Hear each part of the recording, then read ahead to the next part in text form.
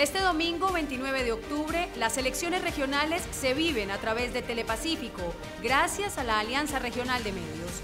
Noti5, Telepacífico Noticias y 90 Minutos unidos para que usted conozca de manera oportuna y con el análisis preciso de los nuevos mandatarios que los ciudadanos eligieron en las urnas.